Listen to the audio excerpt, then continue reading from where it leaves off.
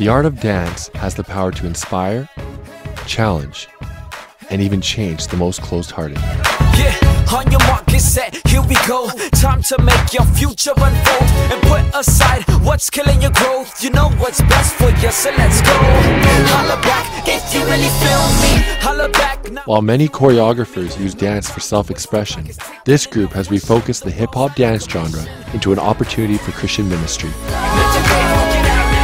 This group is called Refined Undignified.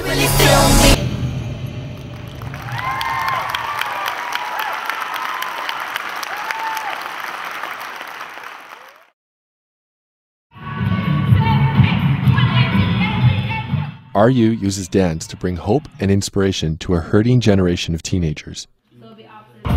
Their original choreography tells true stories of hope and redemption. But what makes this form of ministry so effective is the way that the hip hop dance genre appeals to teenagers. Because this team targets teenagers where they are instead of where they should be, the kids are much more open and willing to listen. 2010 marks the seventh year that volunteers from Briercrest College and Seminary have come out to serve Christ through this ministry.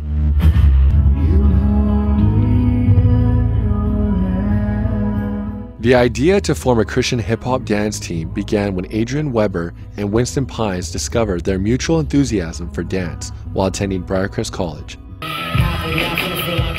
They gathered together some fellow students and formed what would become a major ministry. Since then, Refined Undignified has toured in England, the United States, across Canada, and will be performing at various camps across Canada in the summer of 2010. RU is excited about what God is doing through them for others and in them through this ministry. They are continually blessed by God for their willingness to use their talents for Him.